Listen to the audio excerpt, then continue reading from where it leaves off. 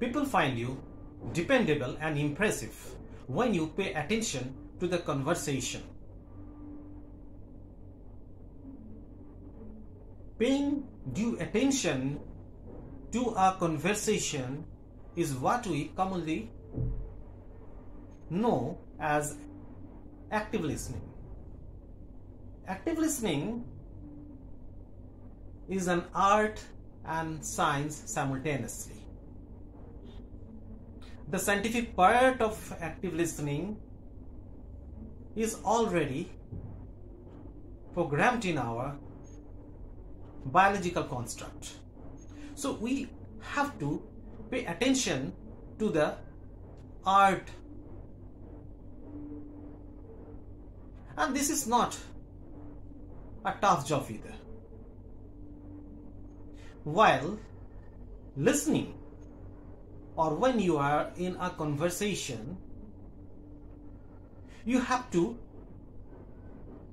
focus on three primary aspects first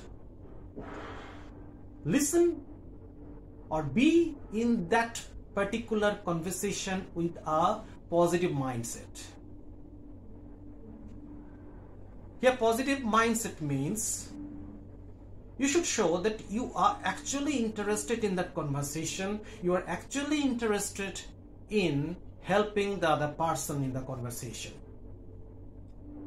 Second, always keep an eye contact even when the other person is not looking at you directly. This is important. And third and last,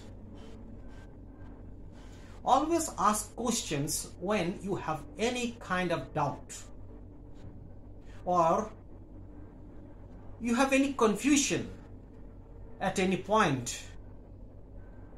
If you question, the matter will be clear to you and at the same time the other person in the conversation will understand that you are really interested in helping him or listening to him.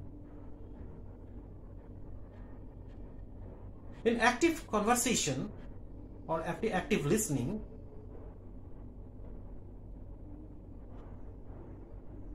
active listening has many advantages. In an organizational setup,